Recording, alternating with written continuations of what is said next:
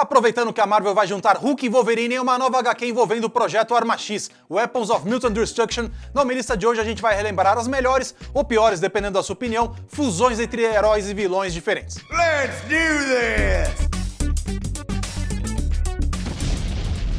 Durante as Guerras Secretas em 2015, a Marvel criou uma capa de HQ que brincava com uma mistura de Deadpool com Gwen Stacy, a falecida namorada do Homem-Aranha.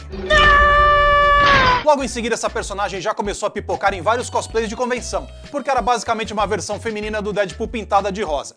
A editora percebeu aí que poderia ter uma personagem popular. Daí veio a série solo em que ela não era relacionada nem com o Deadpool nem com a Gwen Stacy, era Gwenpool o nome verdadeiro dela. A HQ abusa de metalinguagem porque na trama ela acredita que está dentro de um gibi, e ali ela pode fazer de tudo, aprender a ser mercenária e nunca vai se machucar porque está no mundo de faz de conta. Awesome! Em 1996, a minissérie DC vs Marvel mexeu com a indústria para ver se a venda de quadrinhos melhorava lá nos Estados Unidos. Era o sonho de todo nerd, um encontro entre os dois universos de super-heróis. Entre a terceira e a quarta edição, as editoras criaram um selo conjunto chamado Amalgam Comics, para publicar novas histórias com personagens que seriam combinações de ícones da Marvel e da DC. Daí saiu Garra das Trevas, que era uma combinação de Wolverine com Batman, a JLX, que era uma Liga da Justiça com os X-Men, e o Super Soldado, uma mistura de Capitão América e Superman. Nessa mistura tinha até o Thanos Side, que juntou o Thanos e o Darkseid, entre vários outros personagens. Foram 24 HQs no total que saíram aqui no Brasil com o nome Amálgama, e era um festival de Photoshop desastre.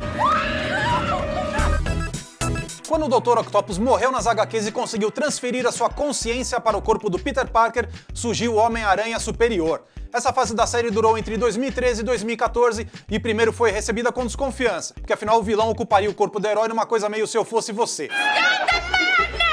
Mas a HQ deu muito certo. O Octopus era mais eficiente do que o Aranha normal, criou um monte de tralha tecnológica e consolidou o império industrial do Peter Parker. Mas ele não tinha o instinto de entrega e o sacrifício que definem o Homem-Aranha, foi uma coisa dramática e bonita de ver. Em 2009, a DC criou uma história em duas partes dentro da HQ Batman Superman que se chamava justamente Mashup. Nela, os dois heróis tentam voltar para casa depois de uma aventura no Nanoverse e se descobrem num mundo onde tudo era combinado, graças às magias da Zatanna e da Ravena. A cidade se chamava Gothamópolis e a Liga da Justiça e os Novos Titãs eram uma equipe só. O líder dessa equipe era o Lanterna Noturno, uma mistura de asa noturna com o Lanterna Verde. E na equipe tinha ainda integrantes como o Aquaborg.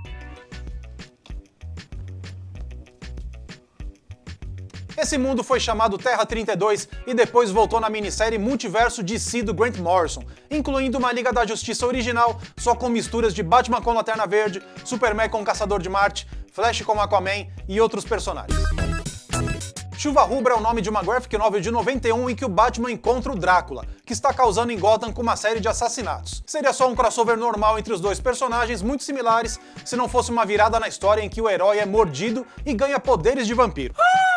Tem todo um lance trágico porque o Bruce Wayne perde sua humanidade e se torna simplesmente o Batman, o morcego que viverá para sempre com o sangue do Drácula. Os leitores curtiram porque essa história continua em duas outras HQs, uma de 94 e outra de 99. Essa agora não é uma fusão exatamente, mas é bem curiosa. Batman com Charles Dickens. Antes de criar o Longo Dia das Bruxas, uma das HQs mais famosas do morcego, a dupla Jeff Loeb e Tim Sale cuidou de uma série chamada Legends of the Dark Knight. Uma história se chamava Ghosts e era uma releitura de um conto de Natal. O Batman ficava no lugar do Ebenezer Scrooge e era visitado numa noite de insônia por três fantasmas. O do passado era o pai dele, do presente a Era Venenosa e o fantasma do futuro era o Coringa. No fim, o Bruce Wayne aprende a valorizar mais a vida e cria uma fundação de caridade na manhã seguinte. O Homem-Aranha, pelo visto, é o campeão de fusões, inclusive ganhou em 2014 uma HQ só sobre isso, o Spider-Verso. Na trama, o vampiro Morlon e sua família caçam versões alternativas do Homem-Aranha para se alimentar. Nessa HQ a gente consegue ver uma infinidade de variações do Homem-Aranha, inclusive o já famoso Porco-Aranha. Aí no caso seria uma fusão tripla, né? Porque o Porco-Aranha se popularizou naquela cena com o Homer no filme dos Simpsons. Pouco porco e mais aranha. Super-herói a gente gosta assim mesmo, tudo juntinho e misturado, mas diga aí nos comentários se ficou de fora alguma fusão que você gosta. Não esquece de curtir o nosso vídeo e também assinar o canal. Tchau!